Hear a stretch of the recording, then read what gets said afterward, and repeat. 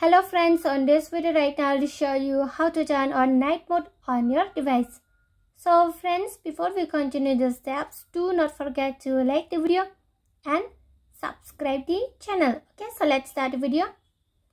First of all, you have to move on setting. After that, you have to scroll down to display. On the below, you are going to find the display. So here you have to click on display.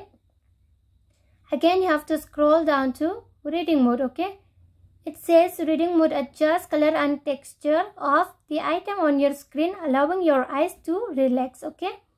So let's move on reading mode. Here reading mode. Okay. If you want to turn on reading mode, light mode, just click on this icon and the light mode on your device will be set on. See, this is called light mode. Okay. And it is set on on your device.